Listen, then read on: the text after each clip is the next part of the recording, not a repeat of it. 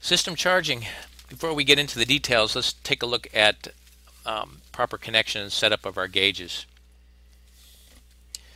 Before we do that, let's take a quick review on our refrigeration gauges just to get things clarified. Sometimes this is confusing when you are a new technician.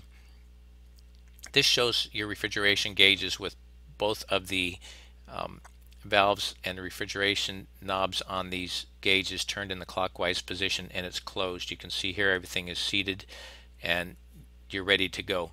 When you close these knobs in the clockwise position it'll seat these valves. You want to do this firmly but not over tighten it. It'll it'll damage these valve seats eventually and then you'll never won't be able to tighten it tight enough to um, seal off the manifold. But this is the position that your gauges should be in when you're hooking up um, hooking them up to the uh, service ports. Let's take a look at this. Um, thing to remember here is the both the low and high side hoses are always a straight through connection to the gauges. You will always measure whatever pressure is on this hose in this gauge. Doesn't matter whether these valves are open all the way or closed or in any position, these gauges always are connected to these hoses.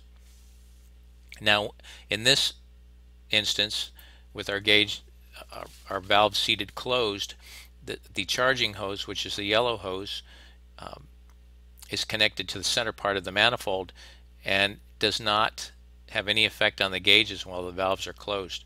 It just sits up here and waits for you to open or close one of the two valves.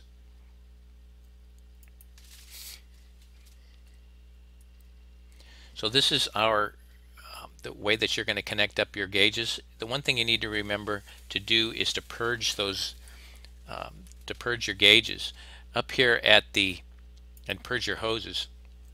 Up here at the uh, manifold your your gauges are connected to the hose by a um, flared fitting that you that you can finger tight and tighten and, and open. So when you hook up your low side or the blue hose to the suction line, you're going to want to have this hose connection up here uh, loosened just slightly so that when you hook this up, a small amount of refrigerant will come through this line and, and purge the air out of the, um, the hose. So as soon as you hear the pressure coming out, a second or two, then you're going to tighten up this, this fitting right here. You're going to do the same thing when you hook up your high side. This needs to be a little bit loose. And as soon as you start to get refrigerant purging out of the, or coming out of the fitting there, you know that the line has been purged and you're going to tighten that back up. And then you'll do that for the third time over here um, on the yellow hose once you have your refrigerant drum hooked up and your uh, valve on the drum open so that you have some refrigerant pressure here. Loosen up your hose and allow some refrigerant to purge out and tighten it up and now you've purged the air out of all three of your refrigeration lines. The other part of hooking up the system is you're going to want to make sure that you have your temperature analyzer or your temperature gauge up uh, set up and you're going to have it set up so that you have the sensing bulb and the temperature probe mounted about six inches away from the condensing unit on the suction line and that is if you're measuring um, superheat.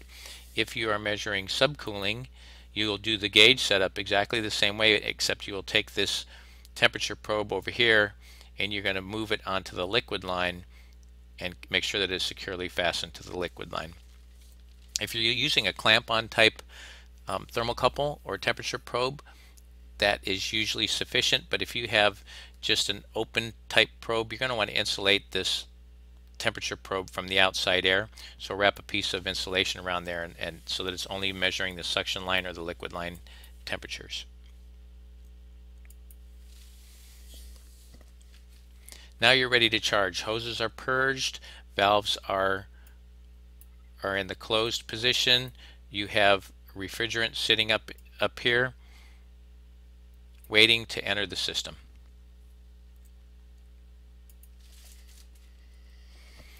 So when you're ready to um, let some refrigerant charge into the system, you're going to slowly back off your uh, suction side valve. You'll be you'll do that by turning the knob counterclockwise.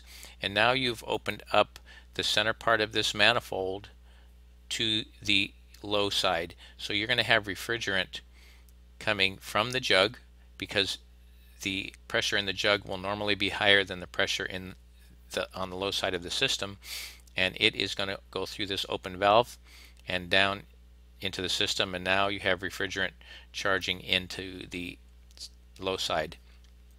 You are also going to see that the uh, pressure low side pressure gauge is going to increase uh, higher than what it was reading before because you're now measure, starting to measure the pressure coming out of the refrigeration jug on this side of the system. So you're going to allow a small amount of refrigerant to enter and I will usually do this for five seconds, 10 seconds or so. Then you're going to close this valve back down, which will stop that refrigerant from entering the system. And you'll see this pressure, uh, the low side pressure come back down and stabilize. You're going to want to let this stabilize for um, 10 or 15 minutes. If you don't, um, you're going to be in trouble. So charging a system takes time if you do it right.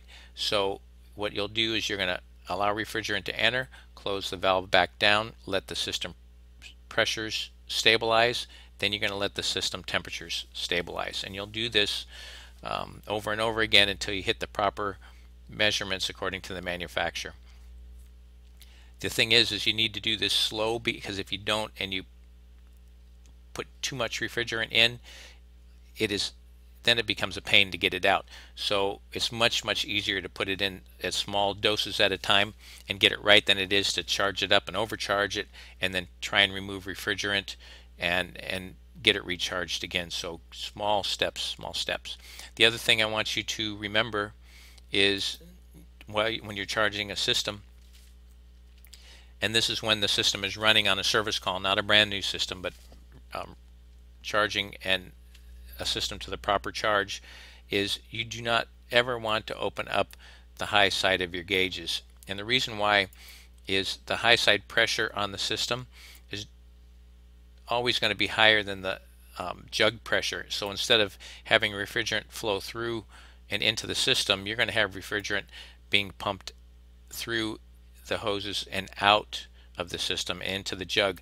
Now, if you're on an R410A system, you're going to be over 300 psi, and you don't want to start pumping 300 psi of hot um, refrigerant back into your refrigeration drum because that is a very da dangerous condition to have. So remember, when you're charging your system, um, you do not even touch. Don't you don't want to touch the the high side. You're going to want to read it, but not touch it. Okay, so here is our system once again it's all set up ready to go so what will what you'll do is you will back off the um, low side valve on the manifold gauges counterclockwise that that will allow that refrigerant to come through and then you'll charge your system step by step slowly don't overcharge it and allow the system to stabilize between each dose of refrigerant Okay, so that is it. Quick overview of how to hook gauges and temperature probes up. We'll get into more details about um, charging a TXV system, how to measure superheat subcooling again, um, how to charge a fixed orifice, and we'll get into uh, manufacturers charging charts as well.